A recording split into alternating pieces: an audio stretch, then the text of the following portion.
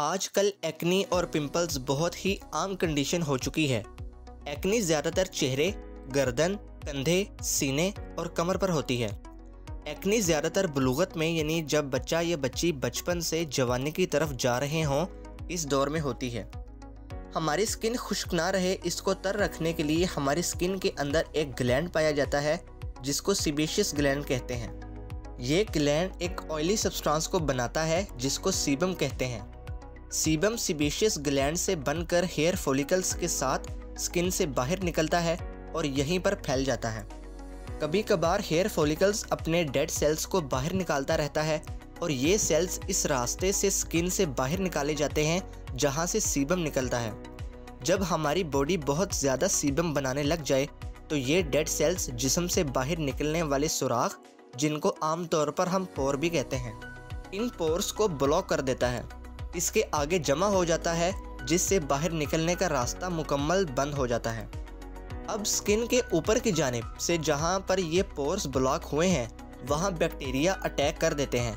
ये बैक्टीरियाज जब तादाद में बढ़ जाते हैं तो स्किन स्वेल कर जाती है।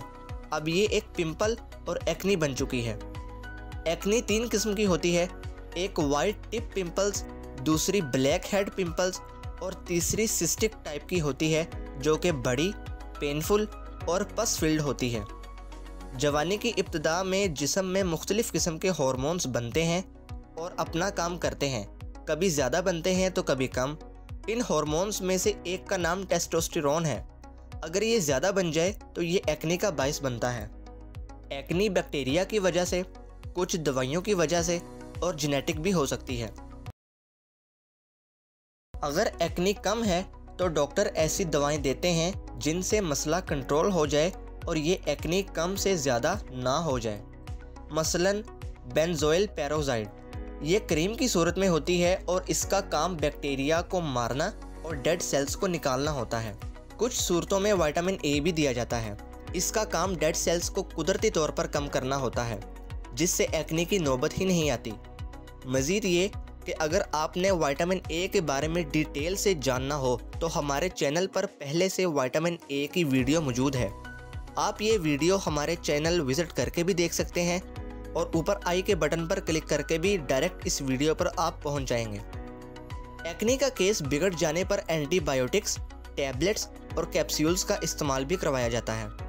और कभी कभार तो दर्द इस कदर बढ़ जाती है कि पेन किलर का इंजेक्शन तक लगवाना पड़ जाता है। इन सब के बाद डॉक्टर स्किन केयर करने का कहते हैं। इसमें स्किन साफ़ करने के लिए स्पेशल साबुन होता है। फिर स्किन पर लगाई जाने वाली क्रीम्स होती हैं। अगर स्किन बहुत ज़्यादा खुश्क हो तो मॉइस्चराइज़र का इस्तेमाल किया जाता है। पाक मेडिकोज की इस वीडियो में बस इतना ही। मिलते हैं अगली वीडियो में। अल्लाह हाफिज़।